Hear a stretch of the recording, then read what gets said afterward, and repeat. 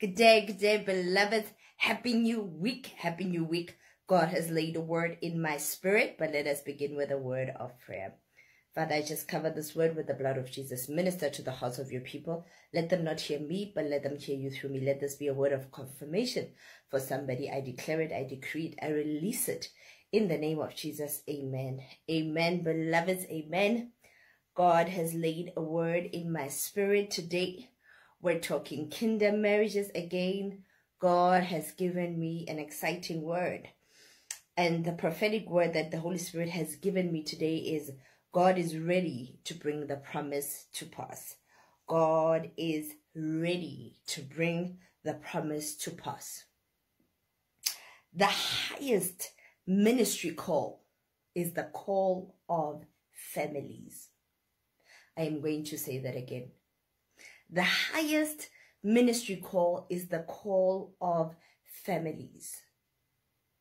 The fundamental of these kingdom marriages is to create kingdom families. When you look at Genesis 9 verse 7, it says, Go, multiply and be what? Fruitful fruitful in terms of being prosperous and fruitful in terms of the family, the family being fruitful, in terms of having children, in terms of having and acquiring all that you, you aspire to acquire and all that you need to become prosperous.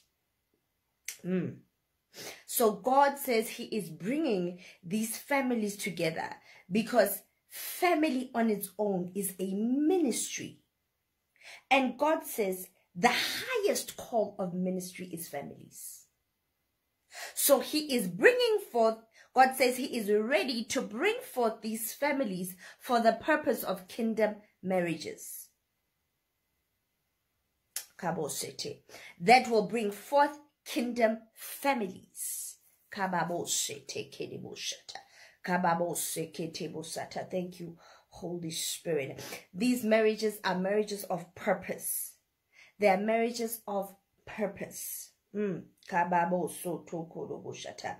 God is saying he is ready to perform his word right now. He says, two is better than one.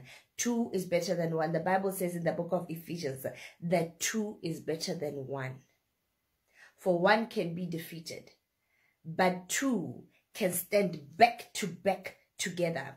So these these kingdom marriages are more like merges. God is merging two individuals together for the purpose of kingdom marriages, for the purpose of kingdom families, because it was the, it was the plan of God for there to be kingdom families, so that the legacy and the lineage of Jesus Christ can be carried down from generation to generation.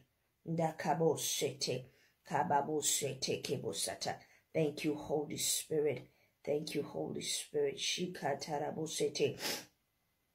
Uh, Psalms 128. I'm going to read Psalms 128, verse 3 to 4. It says, Your wife will be like a fruitful vine within your house. Your children will be like olive shoots around the table. Yes, this will be the blessing for the man who fears the Lord.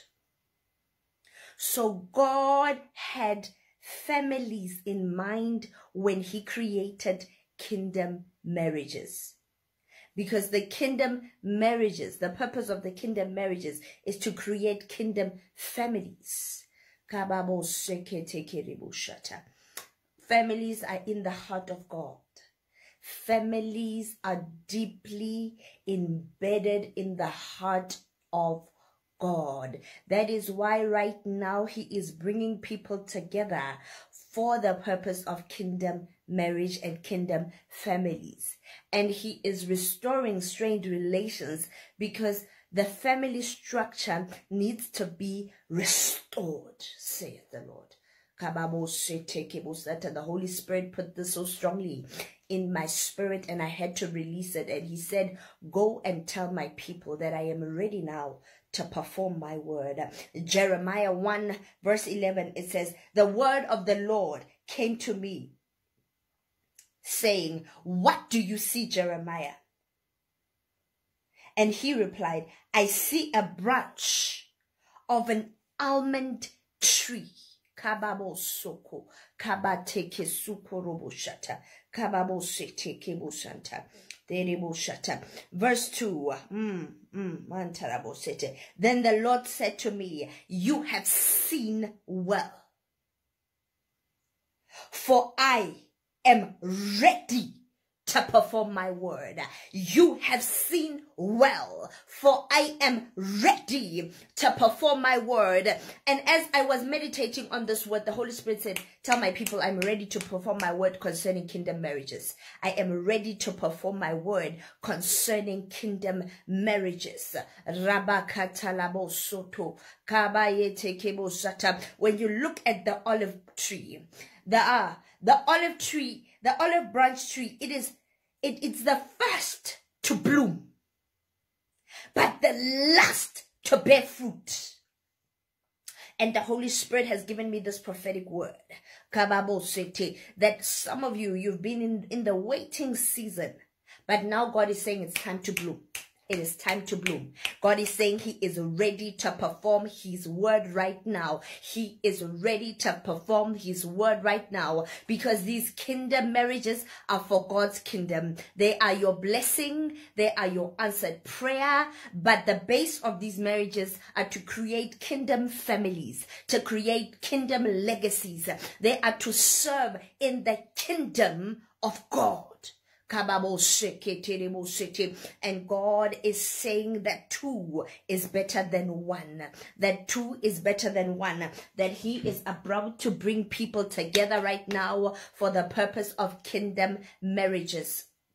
That it is going to happen with great urgency, with great urgency. Like these marriages, God is bringing them together quickly. There's a great urgency in this in the kingdom of God for these marriages to come forth because there's a lot of work to be done through these couples and through these pairings. I feel a great urgency in my spirit. Even when I was delivering this word, I felt I felt such a great urgency. God is saying He is pairing people together. He is pairing people together. He is joining people together in this hour. Some are being joined for the first time. Some are reconnecting and reconciling because the highest form of ministry is families. And God is very, very jealous when it comes to the families. He's very protective of families. That is why the enemy, the first thing that he tries to target is the family structure. When you look at Genesis 3, he tried to destabilize the family structure by coming for Eve. But I have come as the prophet of God with the mantle of families. God has given me a mantle of families. And every family that the enemy tried to intercept, God is restoring in this hour. God is saying, I am ready to perform my word. And everybody that has been standing in prayer, you have been waiting for it. You have been warring for it. You have been trusting God for this marriage. It is coming forth. And the reason why you have been feeling the pressure is because the time is now. It's your bloom season. It's your bloom season. This is your answered prayer. And this is God's gift to you. And this is the gift that you will serve God with in his kingdom. Because God created these kingdom marriages in order to establish kingdom families, in order to establish kingdom legacies.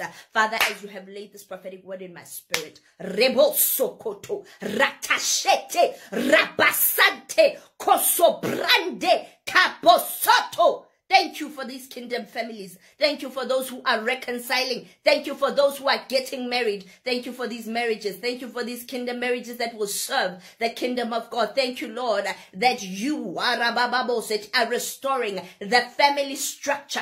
You are restoring the family structure in society. You are restoring the family structure in this hour mightily in the name of Jesus. Thank you for these kingdom marriages. Thank you, Holy Spirit, for the testimonies that are coming from this word. I prophesy it, I declare it, I decree it, I release it in Jesus' name. Amen. Beloveds, I'm excited. I'm excited. These weddings are coming forth and they are coming forth out of nowhere. Get ready. Get